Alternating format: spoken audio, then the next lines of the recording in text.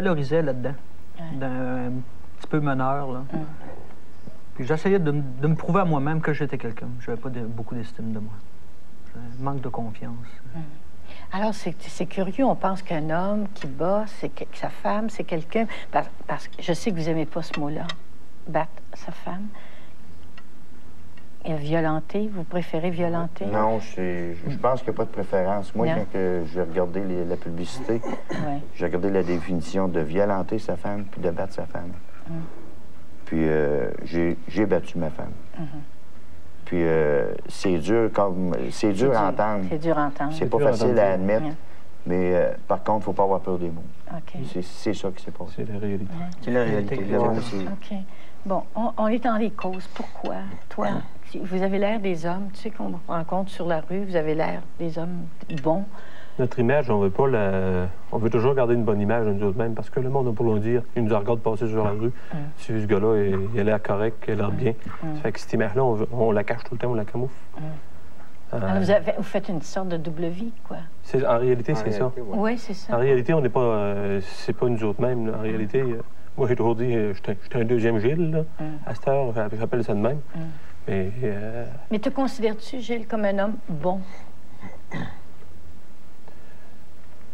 Es-tu un bon gars? C'est dehors? que- Comment tu, comment tu te sens toi-même? Avec tout ce que euh, j'ai réalisé aujourd'hui, tout ça, là, toute la, la violence que j'ai portée euh, envers ma femme et mes enfants, là, je ne considère pas comme un, je ne considère pas comme ça, comme un gars, comme un gars bon. Non.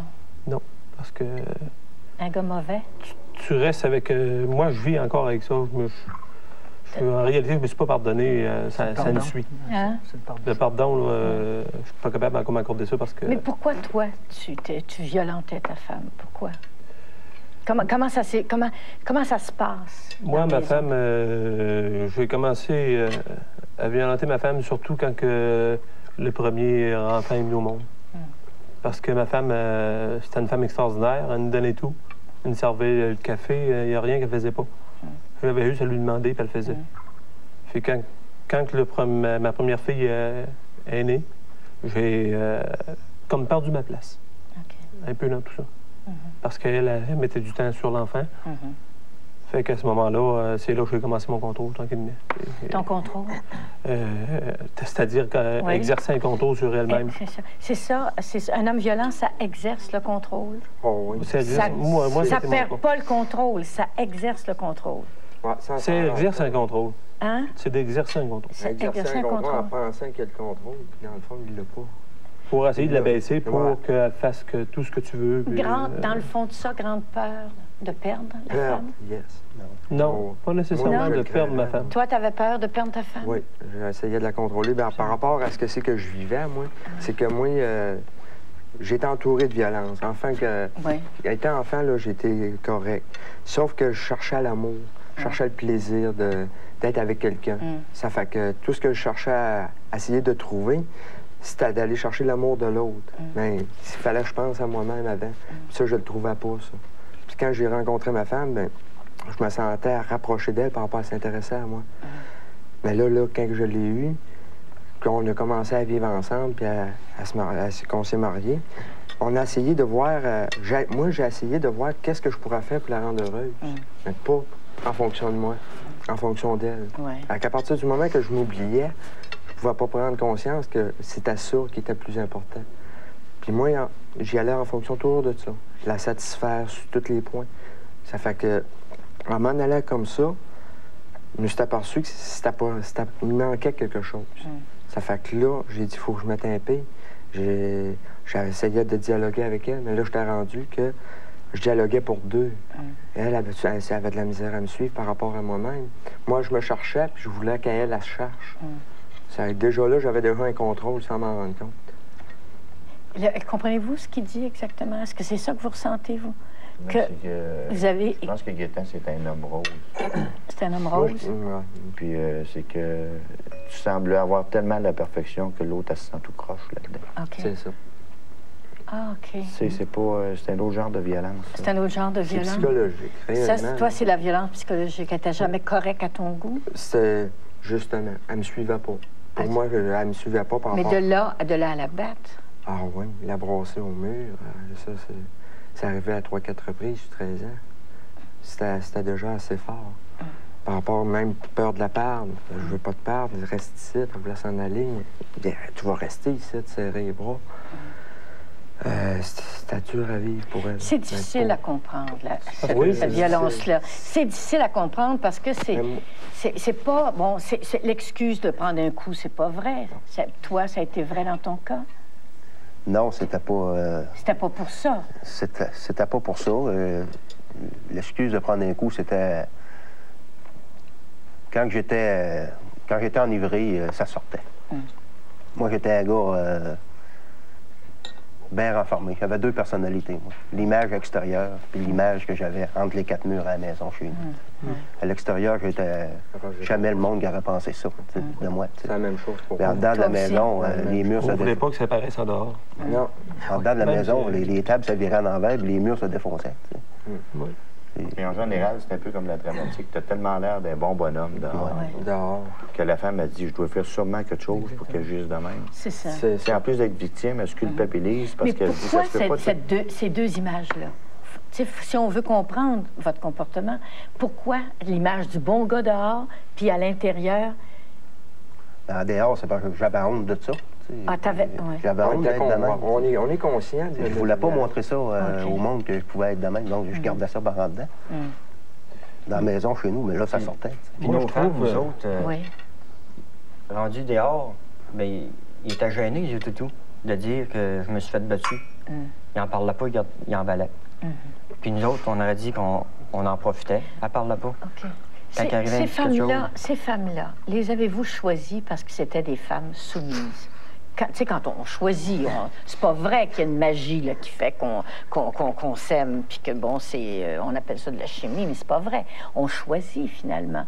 Avez-vous choisi des femmes euh, sur lesquelles vous auriez du contrôle? Parce que vous savez très bien qu'il y a des filles qui vous auraient pas laissé, qui, qui, qui vous auraient mis à votre place tout de suite. Est-ce qu'un fait homme violent choisit une soumise? Moi, j'ai fait ce choix-là, moi. Oui, tu l'as fait, toi. D'après moi, oui, parce que j'ai marié, une, je dis toujours, j'ai marié une fille de campagne. Je venais de la campagne. Mm. La mentalité de ce temps-là, ben, c'était d'être soumis à ses parents, puis de, de faire tout euh, à peu près ce que tes parents voulaient que tu fasses, même si, si tu voulais pas le faire. Mm. Fait que j'avais dans mon idée, moi, que la femme que je ramassais de- dans une campagne comme ça, qu'elle allait être comme ça, elle aussi. Mm-hmm. Qu'elle allait être soumise à moi, puis qu'elle allait, euh, C'était toi le chef. c'était moi qui allait rester le chef, puis Oui, oui, qu'elle allait la contrôler, tout ça. Ouais, c'était- J'ai fait ça pendant 17 ans de temps. Oui. Tu l'as contrôlé pendant 17 ans de Oui. temps. Elle a, enduré- elle a été patiente, puis elle a enduré ça pendant 17 ans de temps. Mhm.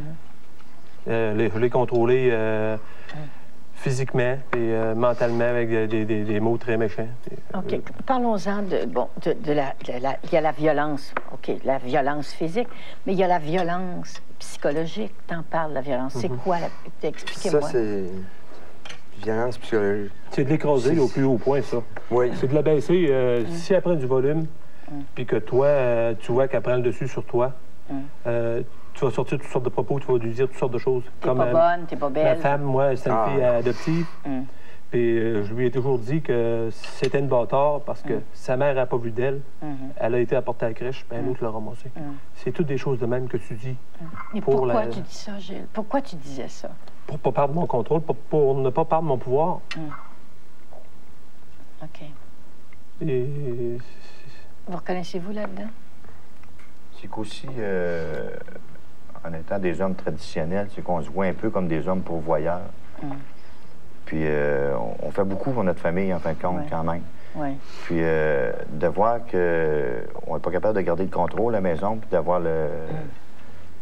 Tu sais, jouer la police, là.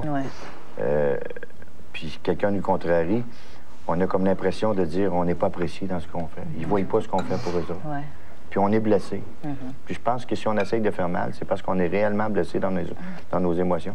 C'est que la plupart de nous autres, c'est on est tous des hypersensibles. Puis si on a mis un mur alentour de Ouais. nous autres, puis une image forte, c'est pour se protéger. C'est ça. Ça, c'est difficile. Moi, je, je- comprends parce que j'ai, j'en ai lu des choses, puis j'en ai rencontré des gens avant d'écrire cette dramatique-là. Je le sais que vous êtes des hypersensibles. Mais ça, c'est difficile à comprendre parce que c'est pas l'image de quelqu'un qui bat sa femme. C'est un gars qui a pas de cœur. On voudrait un gars- jamais donner une image d'être On un n'a on n'a pas le droit de le donner Non, non plus, parce qu'on a grandi avec ça. On. Un jeune garçon, tu grandis, tu pleures pas, puis tu, euh, Ouais. c'est toi qui as le contrôle, c'est toi qui T'es es un dur. Ouais. Parce que si, si tu pleures, tu vas passer pour un, homme. un pisseux, puis tu vas passer par un- Tu seras pas un homme. Clergé, il n'a pas aidé. dans ce temps-là, t'étais- classé dans ce temps-là. Là, c'est- Ouais. Un homme n'a pas le droit de pleurer. Fait que tu restes avec ça, tu grandis avec ça. Ouais. Puis c'est la logique n'est pas là. OK. La logique, on a appris que quand on a des sentiments, puis il faut que ça sorte, puis Euh, les... euh, Est-ce que, est que vous avez entendu, je je j'en ai parlé quelques fois, ce que Gilles Vigneault, tu sais, quand il y a eu le, le- le- le- le meurtre de- des filles à Polytechnique, Gilles Vigneault a écrit une chose qui est, qui est extraordinaire. Il a dit c'est un manque de vocabulaire. Cet homme-là ne pouvait pas parler, donc il l'a tué. Est-ce que vous êtes des hommes qui manquez de vocabulaire, c'est-à-dire qui, qui êtes, êtes-vous capable de parler de vos émotions avant aujourd'hui? Non. Non. Non. Non. Dans mon cas, c'est pas euh, dans le domaine des communications. Puis Ouais. S'il y a une place où je devrais me sentir à l'aise pour en Ouais. parler, c'est ça. Non, moi, c'était une méconnaissance de moi-même au départ. Mm. Je connaissais pas mes émotions parce que je les avais jamais vécues. Toujours refoulé ces émotions-là. Je savais que moi, j'écoutais une émission à la télé, là, les grosses larmes, là, mais tout seul dans le coin. Mm. Personne ne me voyait. Je vivais mes émotions en solitaire. Mais euh, lorsque je suis arrivé en, en couple, il est arrivé des choses que, que j'avais le, le goût de dire que euh, les gens me blessaient. Mm. Je n'étais pas capable parce que je n'avais jamais appris à les exprimer. Tu me fais de la peine. C'est ça, tu me C'est touches. pas fin. Je connaissais même pas mes émotions. Me- les identifier, leur mettre un mot dessus, je n'étais même pas capable de, Mhm. de faire ça. J'essayais de rationaliser Mm. euh, le- ce, qui, se- qu'on- ce qui se vivait en couple, Mm. mais je n'étais pas capable de partir de moi-même. Donne-moi un exemple, par exemple. Bon, euh, ce que j'ai vécu au sein de- du couple Oui. euh, pendant deux ans et demi, euh, on était une famille reconstituée. Il y avait une jeune fille. Mm. Bon, elle, à l'âge de 11 ans, on n'a pas besoin de père.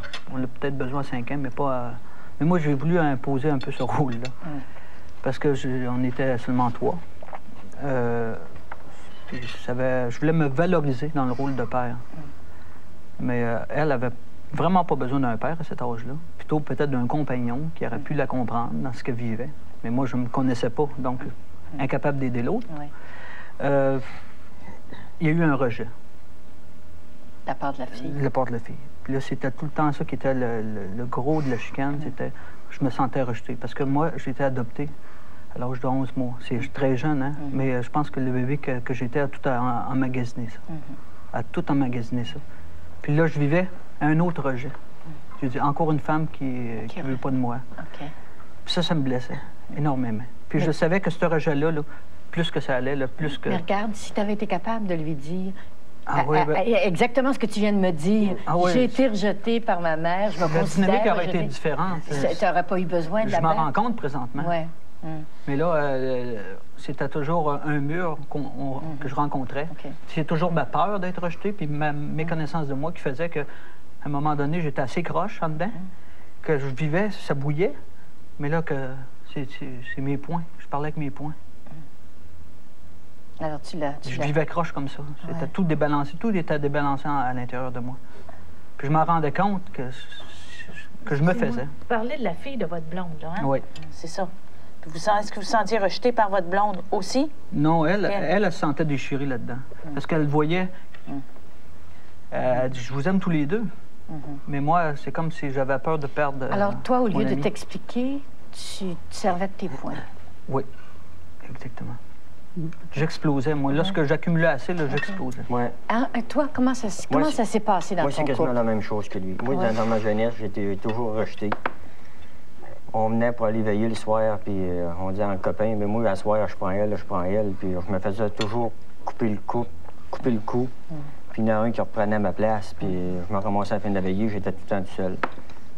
Puis là, j'ai laissé ma gang, puis là, je me suis dit, mais quand j'en trouve une, ben, je vais la garder. Puis là, quand j'ai ramassé ma femme, Carmen, là, j'ai dit, elle, je t'aime, puis je vais te garder. Là, elle le met assez, puis je voulais assez la garder. Là, c'est là, là, tu sais, tu la caches, puis tu dis, tu prends le contrôle, là.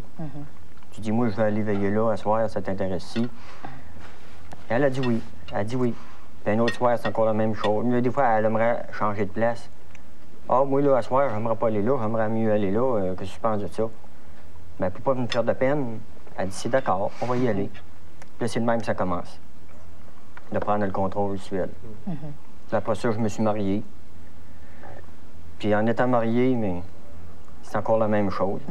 Ça allait bien. Mais quand que le premier bébé est venu au monde, là, c'est là que encore les gros problèmes y ont arrivé. Finalement, ce que je comprends, ce que vous me dites, c'est que c'est une, une très grande vulnérabilité de votre part et la peur de perdre qui vous, qui vous mène à des excès. C'est une peur de perdre. Alors que vous savez très bien qu'en battant, finalement, vous allez perdre pareil. C'est un chemin sans issue, ça. À partir du moment où ce qu'on ne sait pas. Tant Ouais. qu'on ne sait pas, tant qu'on n'a pas pris conscience, qu'est-ce qui nous, qui nous vire à l'envers comme ça, c'est un chemin sans issue. Là, OK. Ils vont, il y a Parce que la nous violence. autres, on dit, oui. on appelle ça de pas battre. Oui, Je veux que tu fasses ça. oui. Je veux que tu comprennes tu- ça. avant qu'elle comprenne que j'ai compris que, que j'abattais, je pense que ça faisait tout de même 25 fois que j'abattais. Elle-même ne le comprenait pas. Elle le comprenait, elle le comprenait, Ouais. elle me le disait, mais moi, c'est normal pour moi. Pour vous, ben, vous aviez perdu la carte, c'était exceptionnel. C'était, Oui. euh, Puis là, le soir, là, on tombe en amour, puis c'est- c'est- c'est- c'était parti. Le lendemain, ça repartait tout beau. On lui faisait des promesses, j'en ferai jamais plus ça. Ce qui arrive aussi, c'est Tout va aller Oui, bien. c'est ça. Tu grandis dans un contrôle comme ça aussi. Ce qui arrive, ben, ben, Ouais. Juste Il y a des drôle à dire, avantages là. à ce contrôle-là. Le contrôle que tu as là, tu, en réalité, tu grandis puis tu. euh, tu sors satisfait de ça en réalité parce que tu l'as bousculé puis tout ça, puis elle a fini qu'elle elle a fait à peu près tout ce que tu voulais. Fait que tu sors un peu grandissant de ça. Oui. Fait que plus que ça avance, plus que ça va, plus que tu, tu prends du contrôle puis tu grandis dans ça. Bon, c'est ça, je dis, il y a des avantages à ce contrôle. Oui. Vous, avez, vous, avez- vous vous sentez important, vous sentez que vous faites peur, vous sentez qu'elle obéit, qu'elle Mhm. Dit ça. oui. Mais qu'est-ce que vous pensez de vos femmes, dans le fond, qui se laissent faire? Par amour? Qu'est-ce que vous en pensez? Dans ce temps-là, moi, ma femme, euh, pour moi, c'était une femme normale parce qu'une femme, de la mentalité que j'ai été élevée, puis tout ça, une femme, c'était à la maison, puis c'était de faire le lavage, puis c'était de faire la vaisselle, puis Puis, puis obéir à son mari. c'était- pour, obéir, pour obéir à son mari. Aujourd'hui, je vois plus ça de même, parce Ouais. qu'il y a bien des choses qui ont changé. Ouais. Mais euh, dans le temps, c'était ça.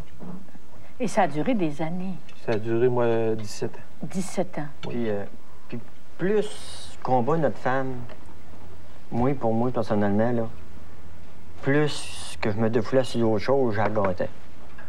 Euh, Je dis acheter des affaires pour se faire plaisir. Pour se faire pardonner. Pour faire pardonner. Deux, trois jours, on promettait, on fait des promesses. Mais on bien, vous, à l'autre bout, là, des cadeaux, puis des ci, puis des ça, on n'en veut plus. Il n'en veut plus.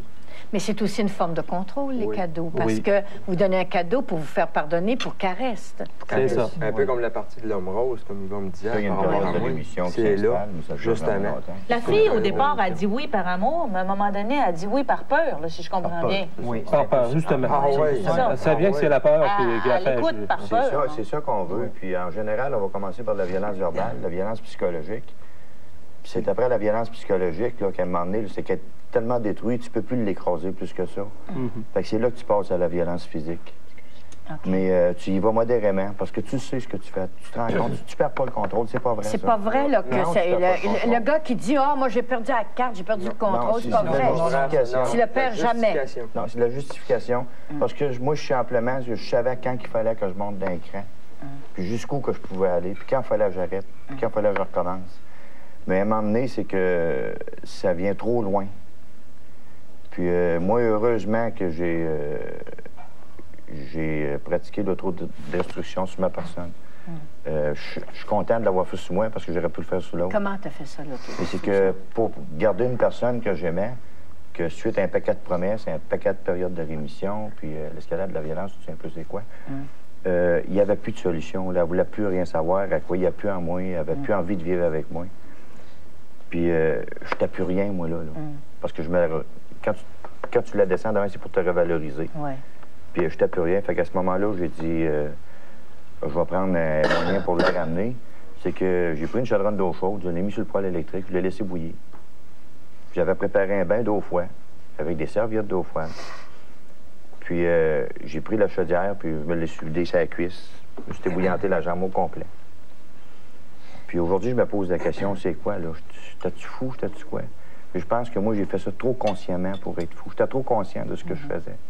Mais Puis c'était- effectivement, ça a marché. J'ai réussi à la garder encore une C'est du contrôle, c'est une forme de contrôle. contrôle. Oui, mais c'est jusqu'où qu'on peut aller dans notre contrôle, tu sais, pour garder le contrôle. Mais là. la- C'était pour faire pitié, là, c'est ça l'idée. C'est ça, j'avais besoin de faire pitié. Menace Moi, de suicide? Moi, j'ai, non, j'ai tout simplement dit que, euh, dû à la situation que je vivais, euh, que c'était euh, le stress qui Mhm. faisait que je me suis fait un café, puis j'ai cassé la cafetière, puis ça Mhm. m'a ravancé. Pour la culpabiliser. Ouais.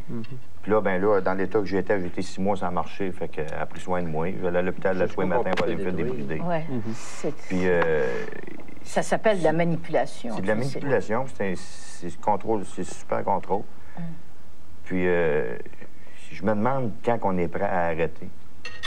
Je ne sais pas, c'est peut-être là que ça devient dramatique. là. Ouais. Ouais. Oui, ça aurait pu oui. verser dans quelque chose de très Oui, grave. c'est à ce là. moment-là que ça peut devenir dramatique. Puis c'est c'est là que j'ai commencé à avoir, dire, coudonc, j'ai des problèmes, là, là, c'est pas Quand, correct. quand vous lisez dans le journal, je pense, j'ai, j'ai pas les chiffres, ça a été inouï en septembre, là, ça a été plein, plein d'hommes qui ont tué leurs femmes. Est-ce que vous vous dites, ça pourrait être moi, ça aurait pu être moi? Oui. Oui. Oui. Vous comprenez très bien là, qu'on peut aller jusqu'à tuer Oui. pour contrôler, pour retenir la personne. Parce que moi, là. Contrôler avec- ou, ou de détruire toi-même. Ou de- de- de- Moi, moi j'avais tendance à me détruire moi-même, soit embarquer les enfants avec moi dans la voiture et lui dire Tu les envoieras plus, les enfants, euh, mais me détruire avec, puis euh, pour la, la rendre plus. euh, c'était- ma manière là, de. Moi, C'était pareil, moi aussi. Si mes idées passaient pas, euh, pour la je poignée. pensais au suicide. Des sentiments. Toi, pensais au tu- suicide. tu pensais- Bon, J'ai tu embarqué euh, Tu pensais au suicide pour la contrôler ou pour vraiment te suicider? mettre pour vraiment me suicider, pour, euh, pour mettre le... finir les, les- les problèmes Ça- que, que j'avais, c'est- la souffrance. ouais. Est-ce que moi, vous... je n'étais pas assez manipulateur pour aller jusqu'au suicide. Non. Non, moi non Euh, plus. Est-ce que vous... c'est Ouais. souffrant, ça, être un homme violent? Est-ce que c'est souffrant? ce- ce- ce- Bon, il y a des plaisirs à contrôler, mais après, on retombe, puis là, on dit, oh, ben, elle va partir. Elle peut... elle va- Un jour, elle va partir. Est-ce que vous souffrez? Oui, moi, je dirais ça que oui, parce qu'à cause, euh, moi, par rapport à ce que c'est que je, je vivais, c'est justement ça. J'essayais de tout lui donner en fonction pour pas qu'elle s'en aille, en fonction qu'elle soit heureuse, en- pour qu'elle soit réellement bien. Puis euh, jusqu'au jour, au moment que je me posais des questions, je voyais bien plein de choses autour de moi qui pourraient m'aider. Même je me renseignais à des hommes qui pourraient m'aider, dire qu'est-ce qu'ils pourraient se faire avec ça. Ben, ils me faisaient pour répondre, c'est normal, c'est la vie. Quand il n'y a pas d'entraide autour de nous autres, déjà Ce là... que, je, ce que je comprends pas, là, c'est que toi, tu étais un homme rose. Tu étais un homme qui donnait tout à ta femme, mais tu, tu la battais quand même. Ouais. Ce qui arrive, c'est que C'est ça qui est difficile pour moi de, de faire le lien. de là. faire le lien. Je veux qu'elle soit heureuse, mais je la bats. ce qui arrive, c'est que dans, dans, dans un homme rôle, moi je dis un homme rôle, euh, c'est d'être autonome. Mm. J'étais prêt à partager les choses. Mm. Mais ce qui arrive, c'est que moi, en essayant de me chercher moi-même, là, ce qui arrive, c'est que j'essayais de tout faire pour elle. S'il y avait quelque chose, là, c'était rendu, une- sans la mettre en cause, là, mais c'est une forme de contrôle qu'elle avait sur moi. Par rapport à moi, je me cherchais, puis j'essayais de lui faire plaisir. Puis là, en essayant d'amener un plaisir à faire ça, là, moi, j'ai trouvé une forme de contrôle moi-même. J'ai dit, tiens, je vais accepter tout ce qu'elle va faire, puis après ça, face même à l'acte Tu la punissais, La quoi? Tu- punissais après ça. Tu la punissais après ça. En fonction Bon, de l'acte sexuel, donne- si elle veut pas faire l'amour, donne-moi un exemple. là. Donne-moi un exemple. Elle veut pas faire l'amour. Ben écoute, là, là, qu'est-ce que tu fais là? là? Ça n'a pas d'allure. Je fais tout pour toi. Qu'est-ce que je pourrais faire, là? Je peux plus faire plus, là. Là, là, qu'est-ce que je fais, là? C'est pas assez pour toi. Tu n'es même pas capable de m'offrir ce que c'est que je demande.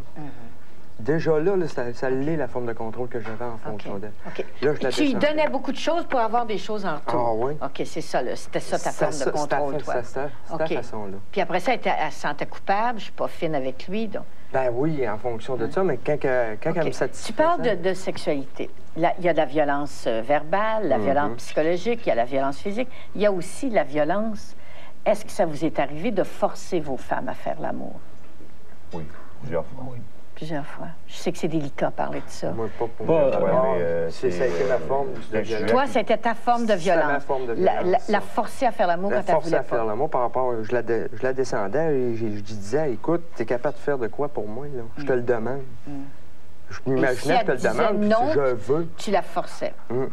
Moi, c'était pas de même. Moi, si elle me disait non, euh, ma, ma manière peut-être de me revenger, c'était euh, soit le lendemain ou quelque chose de même. Elle pouvait passer deux, trois jours, là, les mauvais quarts d'heure. Il n'y a rien que je faisais pas là, pour essayer de la détruire. Pour, parce que j'avais de la rancune sur, sur le refus qu'elle m'avait fait. Mais dire la, la, la forcer directement là, à faire l'amour, non. Mais c'est. Toi, tu l'as fait. Moi, c'est- c'était ça pratiquement toute ma vie. Euh, c'est que j'acceptais pas qu'on me refuse du sexe. Puis, euh, même à un moment donné, je, je demeurais avec une fille qui avait décidé de s'en aller plusieurs fois. Mais elle s'en allait jamais. Puis on vient qu'on les connaît tellement, là. On sait comment qu'il faut que ça se passe. Puis j'ai dit, tu veux t'en aller, sacre ton camp. Qui c'est qui va vouloir de toi? Je t'ai pris dans la rue, tu avais le trottoir, ouais, retourne dans la rue. Et là, elle a fait ses valises. J'avais pas envie qu'elle s'en aille, moi, là. là. Mais comme qu'on n'est pas capable de, de piler sur notre orgueil, de s'exprimer et de dire nos émotions, écoute, là, euh, c'est pas ça que je pensais, j'ai envie que tu restes. Euh, là, je disais, ben écoute, ben, ça fait assez longtemps que je te garde, là, que je te nourris, là. Chris, tu vas toujours bien me tirer une pipe avant de partir. Puis là, je la poignais par les cheveux, puis je l'amenais dans ma chambre. Là, je savais qu'elle me tirait à ma pipe. Je savais qu'après, qu'elle elle pleurait, puis j'aurais juste à y passer la main dans les cheveux, puis qu'on n'en reparlerait même plus, puis qu'elle resterait. C'est qu'on vient tellement manipulateur, on vient tellement contrôleur, on les a tellement euh, manipulés puis euh, rendus à rien. C'est qu'on sait comment se comporter avec pour les détruire au, au plus profond. Ça n'a pas d'allure comment est-ce qu'on peut être. Moi, je dis, c'est... Aujourd'hui, je me regarde, puis quand je compte des affaires de même, je suis quasiment gêné d'être un homme. Puis quand j'en vois d'autres agir de même, là, je me dis à moi-même, Chris, c'est pas correct. Puis c'est ça qu'il faut dé- démystifier. Moi, je me suis donné des ressources pour m'en sortir. Puis je me disais, ouais, il faut le dire. Il faut pas avoir peur de le dire. Pas Est-ce que tu crois que si tes blondes étaient parties tout de suite, que tu aurais changé plus ou tu aurais trouvé d'autres filles qui veulent? Non, c'est que j'aurais tout fait, tout simplement transporter le problème ailleurs. Ouais. De femme en femme, j'ai eu six, six ménages. Fait que Ouais. Le problème, c'était à moi, là. C'était pas tous eux autres. Bon, le problème, c'est, tu viens de dire quelque chose d'important, le problème, c'est le gars. Oui. C'est pas. Mais qu'est-ce qui- Ce qui est difficile à comprendre pour les femmes, il y a des femmes qui leur disent Moi, je lui aurais donné un coup de poing, mais ces femmes-là, vous les fréquentez pas, ces femmes-là qui vous donneraient des coups de poing. Non. Vous allez chercher C'est, euh, des femmes qui elles-mêmes ont des problèmes de soumission, qui ont des problèmes d'estime d'elles-mêmes aussi. Oui, en général, en d'elle-même, oui. C'est des femmes qui n'ont pas d'estime d'elles-mêmes aussi. Moi, c'est un peu différent. Excusez-moi, vous savez que c'est du caribou qu'on mange? hein? Je vais juste vous dire ça. Très bien. Très bon. OK, alors, allez-y. Moi, non, moi, c'est un peu... J'ai moi-même tué. J'imagine. OK. Alors, Moi, c'était un peu différent. Euh, C'était ma, ma première conjointe. Euh, J'ai eu la chance de, de tomber sur une personne qui avait du caractère. Grâce à Dieu, euh, je le remercie aujourd'hui. Euh, non, elle avait du caractère. Puis euh, elle avait déjà eu un ménage, un deuxième ménage. C'était son troisième ménage. Euh, elle connaissait un peu. Elle connaissait la, la dynamique du couple. Moi, je le- c'est une chose que je connaissais pas du tout. Mais elle a refusé tout de suite ma violence. OK. Euh, disons qu'elle a refusé. euh, elle- il y a eu quand même des gestes de violence qui ont été posés à, plusieurs reprises, mais elle était. Elle dit non, tu ne me, me battras pas. Non, mais elle endurait parce qu'elle elle ressentait de l'amour pour moi. Mais euh, ça n'a pas duré euh, éternellement. Ça n'a pas duré 17, 17, 17 ans, non. non. Puis, euh, parce que si j'aurais eu une femme soumise, que- où j'aurais eu vraiment contrôle dessus, là, moi, j'avais une violence qui aurait pu aller très, très, très loin. Parce que c'était une violence qui était explosive en moi. Moi, j'étais, il n'y avait, rien de planifié là, dans mon affaire. Mais j'arrivais, j'accumulais assez qu'à un, mo- à un moment donné, il n'y avait rien qui pouvait être, être contenu. Là, lorsque ça sortait, ça sortait tout croche. Euh, puis à la fin, là... qu'est-ce que euh, tu appelles tout croche? ah, c'était vraiment, là, à pu voir clair. Là. Fessé en n'en pu voir clair. Fesser les murs aussi? Euh, oui, mais c'est ça. Elle- Lorsqu'elle refusait cette violence-là, ben moi, je- en n'étant pas fou, j'ai dit, bon, écoute, elle refuse. Donc, euh, mon but était peut-être de me blesser aussi là-dedans. Donc, si elle le refusait, je, je- à la fin, je me tuerais complètement d'un mur. Tu te tirais toi-même Ah, d'un d'un mur. Ah, C'était de l'autodestruction, à la fin. Ouais. Parce que là, ça l'appuie pas en tout. Là. Euh, ce que je- Mais à- la- à- ma au réponse, travail... ma et- réponse oui. n'était plus une réponse OK. dans ce cas-là. Au travail, est-ce que vous êtes des hommes violents? Est-ce que vous êtes des hommes qui allez vous battre avec d'autres gars, par exemple? Moi, je Euh, Pas à ce point-là. hein? J'ai ben, j'ai pas mal. euh, moi, j'ai été élevé dans la violence. J'ai un vécu de violence. Oui. Euh, J'étais un bouillon de violence. et. Pour moi, la violence, c'était comme normal. OK. C'était... Tu as été battu. Euh, dans ma famille, mon père était alcoolique. Euh, les seuls contacts physiques que j'ai eu avec mon père, c'est, des volets. Mm-hmm. Tu sais, j'ai pas pu avoir un père, moi, qui, qui me donne la main puis que Mm-hmm. serré dans mes bras. Puis c'est de ça que j'aurais eu besoin. Mm-hmm. C'est pas ça que j'ai connu. Puis à 17 ans, j'ai réalisé que, à force de voir mon père tasser ma mère d'un coin, il la frappait pas, mais il, il avait- il- ça prenait pas grand-chose de lui faire peur. Qu'il avait pas besoin d'aller bien loin en violence, Ouais. en violence physique. Puis, euh, à force de voir ça, à un moment donné, je, je suis allé à stand de taxi aussi qui travaillait avec des chaînes. J'avais peut-être 17, 18 ans. Pour ici après une volée. Tu as Il a- battu ton il a- père? non, il n'a pas sorti de la stand. Puis là, je me suis dit à moi-même, coudon, c'est lui qui avait le bon moyen. Ça marche. Tu sais, J'ai dit jamais pu, personne ne va me violenter. Je sais comment me défendre, j'ai juste à être violent, moi et tout. Puis c'est une alternative que j'ai prise, que Ouais. j'ai choisie, de répondre à la violence par la violence, ou de me protéger de la violence. Par la violence. Toi aussi? Moi, la violence, euh, c'est de la violence que je voulais pas tellement en parler euh, ici, mais je tiens à le dire quand même. C'est de la violence, surtout moi, que j'ai vécu moi aussi jeune avec ma mère. Puis mon père, ben, ça a été toujours quelqu'un d'assez bon, puis euh, comprenait tout le temps. Quand ça faisait pas, ben, il s'en allait. Fait que moi, quand je me suis marié, ben, j'ai dit, euh, la violence de même, je n'en pratiquerai pas. Ben, c'est pas l'exemple de mon père. Mais en réalité, j'ai fait l'inverse. Oui. Tu as suivi l'exemple de ta mère? J'ai suivi l'exemple de ma mère. Mhm. En réalité, là, je, Mais je pense que. Je sais pas pourquoi, et- là, qu'on- et vous en êtes très conscient que on refait des fois, on- comment on est élevé, c'est très important, ou bien on refait les patterns, ou bien on est contre, tu sais. Et quand on a vu quelqu'un contrôler, c'est le fun de contrôler aussi. Est-ce que, ben, toi, tu as eu un problème d'alcool. Est-ce que le mythe veut, les idées fausses veulent que on boit, et on- euh, euh, quelle belle excuse que de dire j'ai pris un coup, je t'ai battu, mais c'est parce que j'ai pris un coup, tu sais, euh, sobre. Toi, étais-tu un homme violent à l'extérieur, Non, j'étais pas un homme. même euh, quand tu prenais un verre? quand je prenais un verre, oui, je devenais violent. Tu devenais Je devenais violent. violent. Moi, ça a commencé. ça a commencé plutôt vers l'école. Chez nous, moi. Mon père, c'était pas un violent, c'était du bon monde, ma mère aussi. C'était l'école quand j'ai commencé à manger des volets, justement. J'ai dit un jour, c'est moi qui vais en donner. Je suis venu avec cette idée-là. Mais un jour, vous allez arrêter de me battre, puis c'est moi qui vais battre. J'ai grandi avec ça, puis c'est même en plein de même que ça s'est déroulé. C'est- C'était mes idées qui passaient, c'était pas. euh, c'est moi qui étais boss chez nous, là. C'était pas, euh, pas mon épouse, là. Être boss, c'est ça la grosse affaire. C'est vouloir être boss chez soi. Oui, mais c'est l'image de l'homme traditionnel. traditionnel. C'est C'est le stéréotype de l'homme. C'est cette image-là qu'on avait, ouais. L'homme emmenant le pouvoir. L'exemple qu'on a eu, c'est à peu près toujours ça, ou presque. là.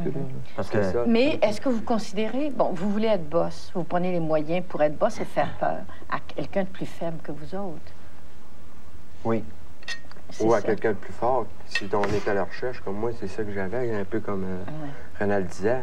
Elle avait du caractère, moi, la mienne. Elle refusait ça, mais l'amour portait à la rester à la maison, malgré tout. Est-ce que vous considérez que vous aimez vos femmes? Oui. Moi, Oui, j'adore oui, ma femme. J'adore. Moi, je pense que je les ai toutes aimées. Surtout mal aimé. Parce que moi, si ma femme, C'est ça. je l'aurais pas aimée, elle m'a aimée comme je l'aime, que ça ferait longtemps qu'elle serait partie. Puis aujourd'hui, je serais peut-être bien pas ici, je serais six pieds sous terre. Ouais. Pourquoi tu serais six pieds sous terre? Parce que euh, sur les derniers milles, euh, ça allait pas bien. Puis moi, là, j'étais rendu au bout. Puis elle, elle, elle- elle voulait m'envoyer suivre une thérapie. Puis moi, je lui disais, j'ai pas besoin de ça, une thérapie. Je suis capable de me soigner tout seul. C'est ça. Ça allait arriver euh, quelques jours après, là, je me suis fâché. J'arrive à la maison, puis euh, j'ai demandé quelque chose, puis elle me dit euh, non, je ne l'ai pas fait. Puis là, j'ai dit, j'ai dit, Calice, pourquoi tu l'as pas fait? Puis là, j'ai descendu à la cave, puis j'ai venu pour aller chercher mon fusil. Puis euh, elle le savait, elle l'avait caché. Ben, j'ai- quand j'ai remonté de la cave, là, la face m'a changé de couleur. Puis en tout cas, j'ai dit, t'es chanceuse. Puis j'ai dit, l'horloge qui avait accroché au mur, là. J'ai dit, elle a tombé. J'ai dit, en crise. Puis j'ai retiré. Puis par après, je sais pas, peut-être ça aurait venu que c'était bien c'est moi qui m'a retiré. Puis après ça, on s'est mis à reparler. Là, j'étais calme, là, là, il n'y avait plus de fusil. Là, j'ai demandé, où c'est tes amis, les fusils? Elle dit, c'est la Sûreté du Québec, elle dit, il les a. Là, là j'ai eu peur. Là, j'ai dit, t'as pas fait ça? Elle dit, oui, elle dit, j'ai fait ça. Elle dit, je voulais me protéger. Là, j'ai dit, je te dis? J'ai dit, t'as bien fait. J'ai dit, je suis contente. Je suis content que tu aies fait ça. Ça a resté de même. Puis au bout de 15 jours, elle m'a demandé pour aller suivre une thérapie.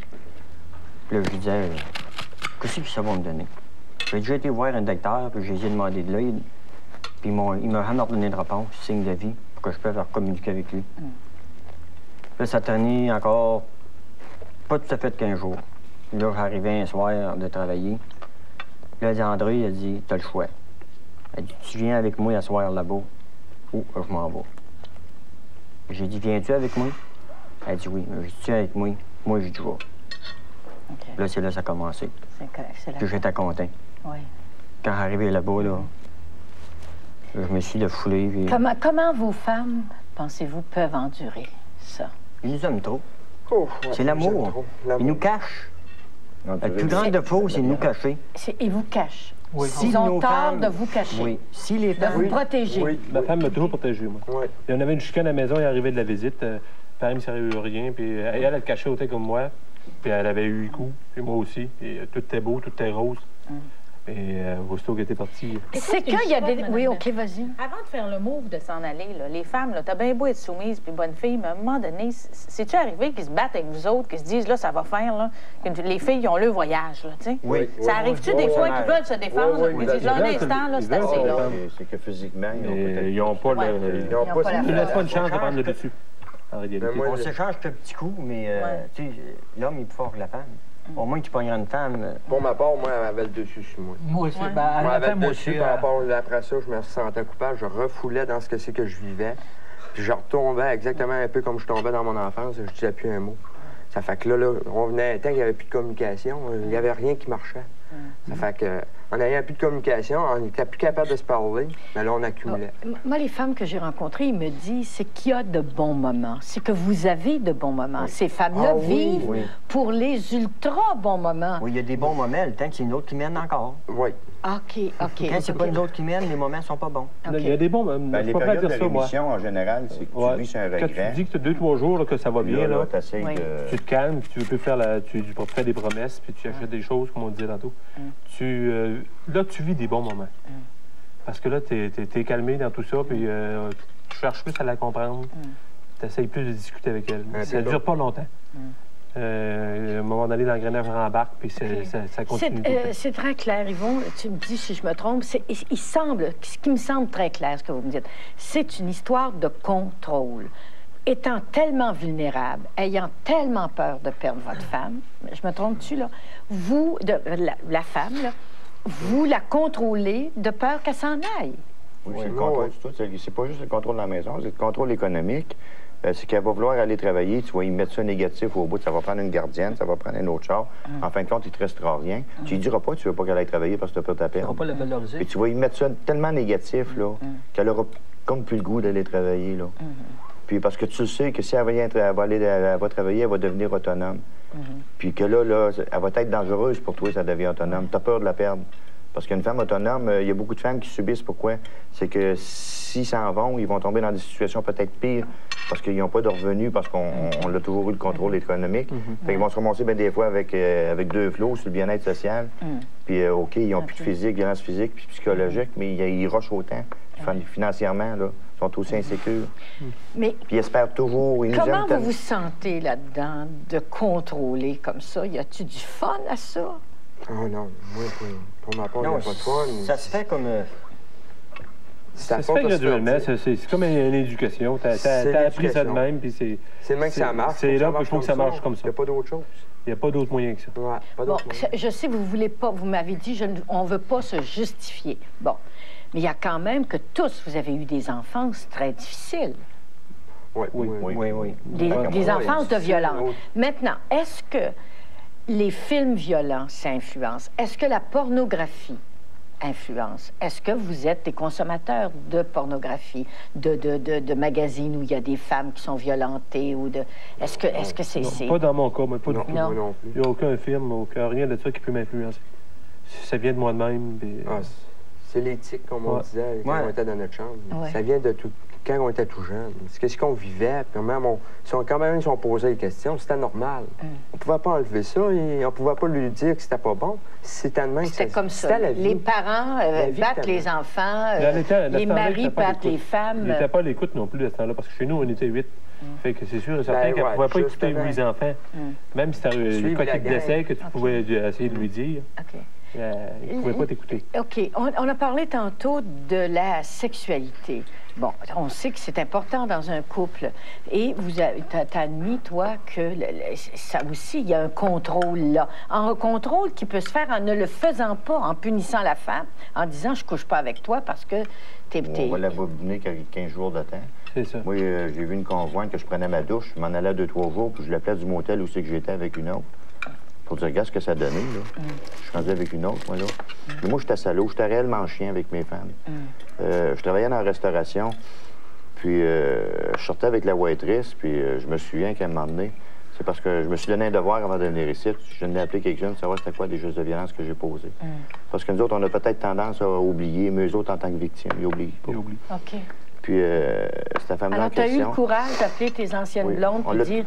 Oui, ben, on l'a tout fait. Ils n'ont pas tout appelé leur ancienne blonde, ils ont consulté leur conjointe, là, mais Oui, moi, oui, vu que oui, j'avais peut-être un vécu différent, là. Parce qu'il y a des choses qu'on oublie dans ça. C'est c'est bon qu'ils nous le rappellent. Je suis allé vérifier parce que nous autres, des fois, on va essayer de se le cacher, on aimerait mieux pas le savoir. OK. Puis, euh, j'en ai pris un coup hier quand on m'a dit que. Là, j'ai eu de l'émotion. Ouais. Euh, c'est que ma femme était enceinte, puis euh, j'étais gérant de restaurant. Puis elle travaillait pour moi. Puis vu que je sortais avec la waitress, moi, je me faisais remplacer par elle. Puis à un moment donné, je l'ai poignée à la gorge, puis je, je l'ai littéralement étouffée parce qu'elle voulait pas travailler. Mais euh, ce qui se produit, c'est qu'elle était enceinte, puis elle a couché le même soir. OK. OK. Puis hier, quand on m'a dit Et ça... tu l'avais oublié? Oui, je l'avais- je l'avais oublié. Tu Je refoulé. sais pas si je l'avais- Je me demandais à un moment donné, on oublie-tu réellement? Ouais. Puis je pense que oui, je pense que je l'ai envoyé bien loin pour plus avoir jamais à m'en rappeler. Effectivement, je l'ai fait. Puis euh, je vis ça tout croche ce soir. Tu vis ça en ce moment en me le Je vis ça tout croche parce que Ouais. c'était pas ça, moi, que je demandais à vie. Moi, ce que j'aurais voulu, euh, suite à mon passé familial, là, c'est que je voulais avoir une famille unie, une famille chaleureuse, avec beaucoup d'amour. C'était tout à fait le contraire. J'ai- fait le même maudit pattern que mon père m'a amené. Stéréotype de l'homme, le rationnel. là. Vous êtes, vous êtes tombé Contrôleur. Moi, c'est manipulateur. mes relations avec mon père euh, à l'adolescence. C'est là que je me suis aperçu que. C'est là que j'ai construit un petit peu euh, la violence, dans, dans mon cas. Euh, mon père, c'est un, un être très sensible, mais jamais il va l'avouer. Euh, Lorsqu'il arrive des choses sensibles, euh, le, le personnage va rire, va, va essayer de se dégager, mais tu sens que, que ça le touche, mais pas capable de l'exprimer. Moi, j'essayais, moi aussi, en étant très sensible, j'essayais de, de briser ce, cette- ce mur-là. Mais euh, lui, en étant l'âge, euh, quand même une quarantaine d'années, ce moment-là, euh, c'était très difficile. Donc, on a développé, pour communiquer, moi puis lui, on a développé euh, un pattern assez particulier. C'est que lui, il venait me picosser pour venir me chercher, pour communiquer avec moi. T'as choqué? Mais moi, je le perce- à ce moment-là, je le percevais pas comme ça. Je le percevais comme euh, euh, un rejet. Même pas. Donc, il m'a adopté. C'est- C'était mon père adoptif. Il m'a adopté, mais il m'aime pas pantoute pour me faire ça. Donc, euh, bon, moi, tout, j'ai j'ai développé ma- une communication avec, c'est qu'on se battait. Moi, j'ai battu mon père. À un certain moment donné, là, on se courait autour de la, de- de la table avec des objets, puis c'est le même que ça s'est développé. Une incompréhension de, de nos propres faiblesses. Oui. OK. Au lieu de se l'avouer complètement, puis sauter les bras, dire qu'on s'aime, puis euh, mon garçon, mon père, je t'aime. OK. Non, t'es pas capable de le dire. On va tellement loin là, ensemble. J'apprends tellement de choses. Le public apprend tellement de choses que je suis tellement troublée aussi par tout ce que vous me dites que euh, on va rester ensemble. Oh yeah! Et la semaine prochaine, le public va nous retrouver, alors que nous, on va continuer la conversation pour une autre heure. Et je vous invite la semaine prochaine à ne pas manquer l'émission pour aller plus loin dans, pour comprendre ce que c'est que le phénomène de la violence domestique, de la violence conjugale. Et on va apprendre comment vous en êtes sortis, quelle démarche vous avez faite et comment on peut devenir des hommes assez braves, assez courageux pour venir parler de ce qu'on a fait à la télévision. Alors, à la semaine prochaine. OK. Alors, euh, ce que, donc, euh, c'est euh, c'est très important. De, ce que vous avez vécu dans votre enfance se répercute toi aussi. On ne devient pas violent du jour au lendemain. On Non, ne devient pas. On, on devient de- nos propres bâtisseurs de violence. Ouais. Tu grandis, puis tu développes tranquillement pas vite. puis Ouais. tu- C'est renvalage. Moi, c'était un problème de pas être capable d'exprimer mes émotions. Ah, c'est ça. On, on l'apprend jeune. C'est- Oui. Puis quand, que, quand que je les exprimais, Les